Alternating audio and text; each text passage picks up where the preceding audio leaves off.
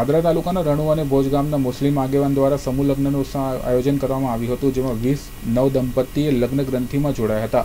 આ સમૂહ લગ્નોત્સવમાં વડોદરા પંચમહાલ જેવા શહેરોમાંથી શેખ પઠાણ, મકેલ તમામ મુસ્લિમ યુવક યુવતીઓના શુભ દિવસે નવા લગ્ન જીવનની શરૂઆત કરી હતી. આ લગ્નોત્સવમાં કન્યાઓએ મદ્રસાએ જામિયા તરફથી તેમને ઘર સંસાર ચલાવવા માટે જરૂરી સામાન, ઘર વપરાશમાં આવતા વાસણો, કન્યાદાન પેટી આપવામાં આવ્યા હતા. મદ્રાસા કાયમુદ્દીન યુકે ટ્રસ્ટ રનુ તથા અલ ફલાહ ટ્રસ્ટ યુકે એક ના સહયોગથી આજે રણુ મુકામે બીજો સમૂહ લગ્ન લગ્ન યોજવાયો છે. એમાં વીસ સમૂહ લગ્ન છે.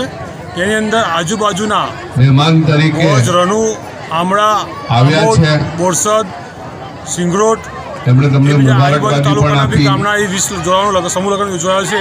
એની અંદર ટ્રસ્ટ તરફથી બધી ઘરવખરી સામાન એમનું પણ એક જ ધ્યેય છે. આ સમાજ મુસ્લિમ સમાજમાં કુરિવાજો બંધ થાય એ આશ્ચર્યથી અને ગરીબ મા બેટીઓના સમૂહ લગ્નમાં ભાગ લે એ એ મકસદથી આયોજન કરવામાં આવેલ છે. અહીંયા મુખ્ય અતિથિ કોણ છે આજે? પ્રોફેસર મીર ઇકબાલ મુખ્ય અને અતિથિ રબીપુરવાળા અબ્દુલભાઈ ફેફડાવાલા